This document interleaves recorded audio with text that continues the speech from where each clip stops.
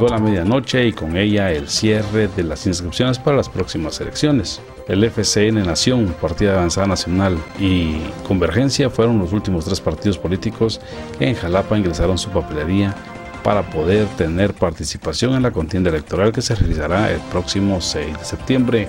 Nos amplía esta información Alex Noguera, delegado del TSE en Jalapa.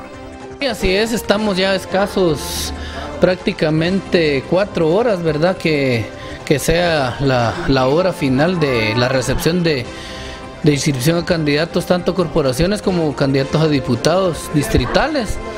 Y pues obviamente estamos todavía a la espera de que pudiera, pudiera darse eh, el ingreso de algún otro expediente, más sin embargo es importante aclarar que que en el sistema ICO ya no tenemos ningún expediente, entonces consideramos que ya aquí estamos casi que culminando en parte, no en totalidad, ¿verdad? Parcialmente.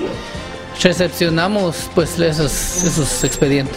¿Cuántos partidos políticos podrían participar? Partidos están alrededor de, de 8 a 10 partidos.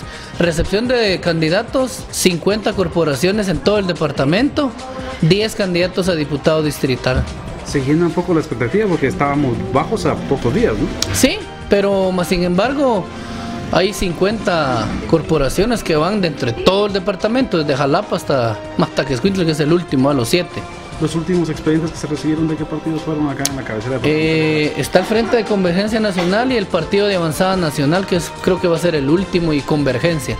Esos tres están todavía ya por, por finalizar la recepción pero creo que va a ser más que todo el partido de avanzada nacional, que es el último que tenemos en cola. Para los T21, los Chapines y el mundo, notijalapa.net.